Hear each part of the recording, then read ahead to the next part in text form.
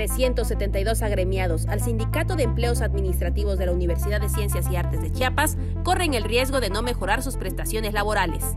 Tenemos nosotros como sindicato este, un emplazamiento a huelga para revisión contractual del sindicato, lo hicimos en diciembre, 7 eh, de diciembre del 2021.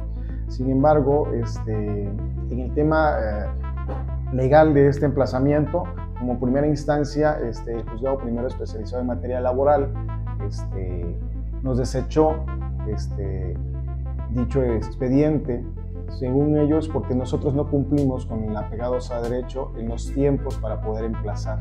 La solicitud de revisión del contrato colectivo de trabajo deberá realizarse por lo menos 60 días antes del transcurso de dos años, en los casos del contrato por tiempo indeterminado o por obra determinada nosotros ocupamos un recurso legal, que fue un amparo federal, en el cual nosotros este, esperamos los términos y las respuestas del juzgado federal y en el cual el amparo salió a favor nuestro.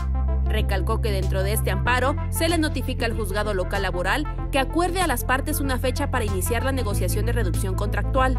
Sin embargo, el juzgado primero especializado en materia laboral eh, no toma en consideración el amparo federal, la instrucción que le dan, y tiene otra opinión diferente del criterio del juez federal.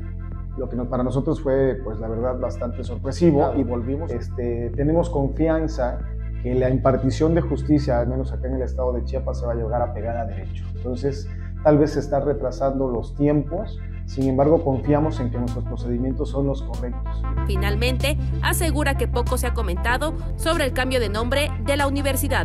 Poco que sabemos es que todavía es un proyecto que, lo están trabajando.